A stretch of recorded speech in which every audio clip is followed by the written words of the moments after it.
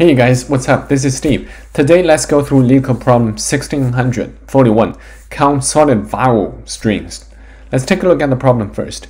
Given an integer n, return the number of strings of length n that consists only of vowels, a, i, o, u, only five vowels in the English alphabetical letter, and are lexicographically sorted. A string s is lexicographically sorted if for all valid i, is the same as or comes before as i plus 1 in the alphabet. So let's take a look at one example. n equals to 1. That means there's only one character in the string. So the five sorted strings that consist of vowels only are A, I, O, U. So the output is 5, making sense, very easy to understand. What if n equals to 2? Let's see. 2, the output is 15. How come it's 15? Let's take a look at the explanation. The 15 sorted strings that consist of vowels only are these AA, AE, AI, AO, AU, plus everything.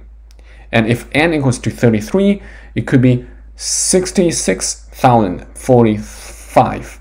All right, so this that's the out. n is, follow, is following this constraint, smaller than or equal to 50, but greater than or equal to 1. Um, there are multiple ways to approach this problem. Related topics is math, DP, and backtracking. The way I thought of this problem is we can apply a little bit greedy and math to solve this problem. I thought it's very interesting to share, so I'm making this video now. Alright, now let's take a look at the slides. For example, when n equals to 1, there are only 5 vowels, five, five strings, because there are only 5 vowels, right? A, I, U, that's it, A, I, U. So for example, n equals to 1, output is 5. That's because there are only 5 vowels, A, I, O, U, right? And when n equals to 2, the output is 15. How do we reach 15? Of course, the explanation listed out all of the string permutations here. But let's think about how we can deduce from n equals to 1 to n equals to 2. So this is kind of dynamic programming already, right? But there is some math that I'm going to apply. Say n equals to 1 is here. Let's think about how can we get to n equals to 2. And when n equals to 2, the first thing that we can do is that following this definition, we want to find the lexicographically sorted ones, right? Lexicographically sorted, what that means is uh, si is the same or as comes before si plus 1. What that means is that a is the smallest letter in the alphabetical in the alphabet, right? So we can apply a to all of these five strings in the prior n sequence right? So that means A is applied, is prefixed to all of these five substrings, right? But how about the next one? This is not complete, right, for n equals to 2. Then we can also apply E to not all of them, but the from the second one to the last one, right? So we can apply E to all of these four, right? And then I, we can apply I to all of these three, right? Making sense? Because all of these strings, they are still following the definition, uh, lexicographically sorted. Then O, O could be prefixed to these two. Then U could only be prefixed to the last one, right? So this is the total number of strings that we can form that are meeting the requirements of the lexicographically sorted vowel strings. So 5 plus 4 plus 3 plus 2 plus 1, that is 15, right? That is 15 here, right? Can we find any pattern or rhythm here? That is, we can apply A to all of them, E to the sec from the second onwards, I from the third onwards, O from the fourth onwards, and U from the fifth onwards, which is only the last. What this means is that we can use some sort of an array to represent. In the beginning, it is 1, 1, 1, 1, 1. There's five ones.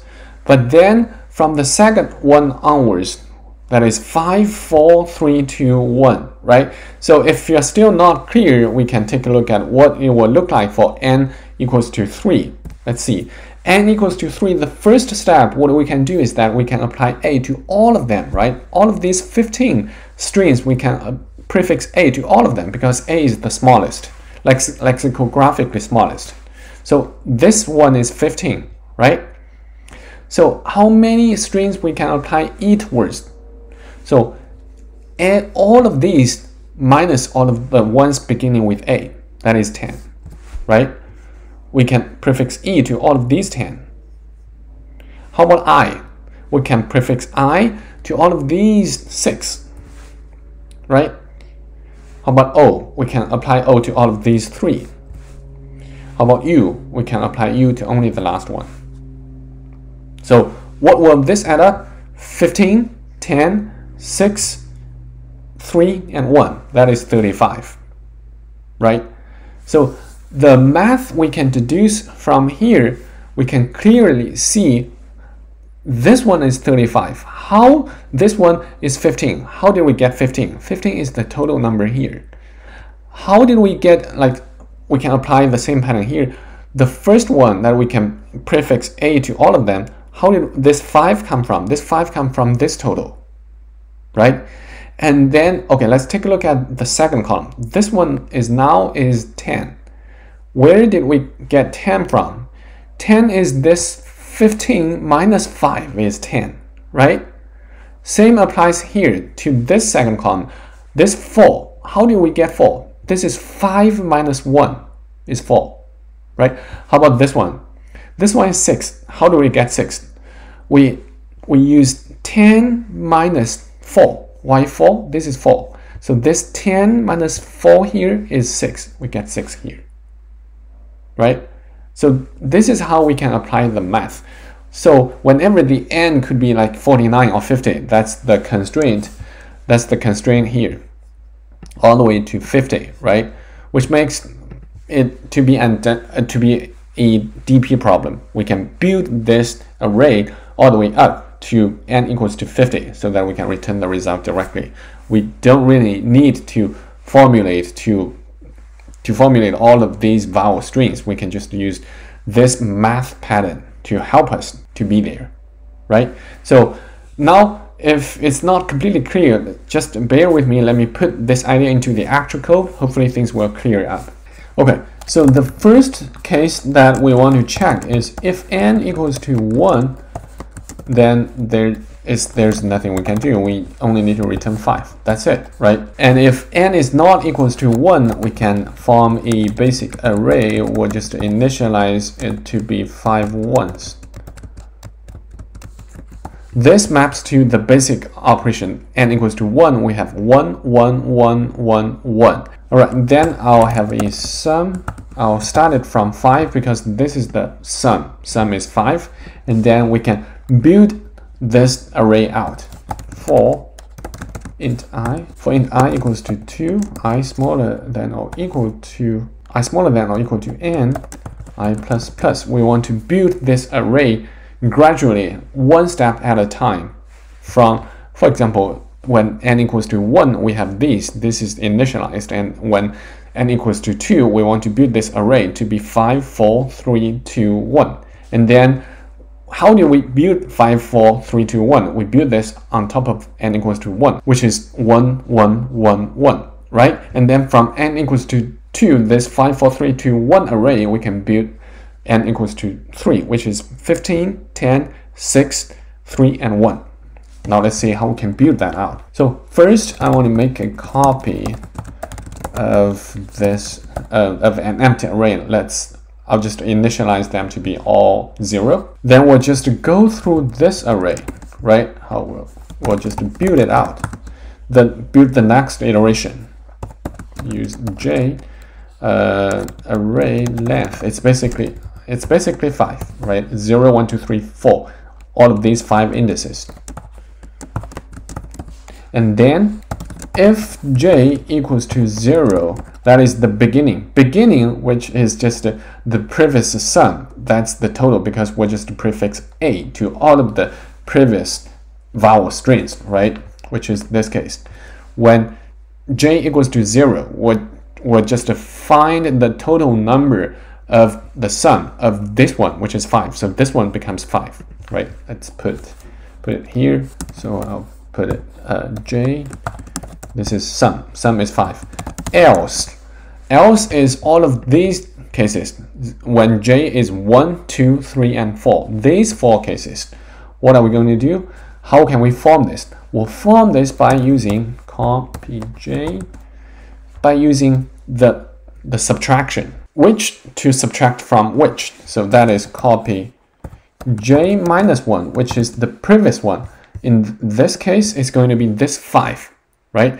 Minus this one, which is the previous array j, array j minus 1. This is the copy that we are going, this is the new copy, which is going to be this one, right? 4, and this is 5 minus this 1, which is going to give us 4. This is the 15 minus this 5, right? Which is going to give us 10, 10 here, 10 vowel strings here. This is how we can get the new copy array. After we created this new copy array, we'll just assign this to arrays copy, uh, copy 5, all of them. I think it should be copy of. This is the API. Now we'll just uh, calculate the sum again. This code it might not be the super clean, but hopefully I can get it accepted. Of course, feel free to optimize this. Then just have another one. Not very optimal, but uh, hopefully I can explain the idea clearly. Now sum plus uh, array j. So this is the new sum.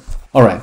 After this for loop, we have we have reached when n equals to when i equals to n, we have calculated all of the latest array. At this point, we have reached this sum. At this point, we'll just return sum. Um, I believe this should do the job. Let's run code to see if there is any compile errors. All right, it's accepted. Now let me hit uh, submit. All right, it's accepted, 33%. I thought it should be better because this is very, very fast. It's ON. One more time, 37%. Let's remember that, see if it could be improved. Still 37%. Uh, wow. What are the other algorithms that could be faster than this? because this is ON and we only use, yeah, 100%. This is what I was expecting. 100%, um, that sounds like making sense to me. Because this is super fast, we are using an extra array, which is of constant space because this array is only five. We're only using five integers. And this, we go through this n only one time. And this ON is, it's bounded by 50. So this entire algorithm is actually O1, it's constant time. So it should be very, very fast. So let me just making sure that is the case. Should be above 50 or 80%. Yeah, 100%. All right, just one last time. I don't want to spam the LeetCode system. 37%. I promise this is one one last time. Should be better than 80%.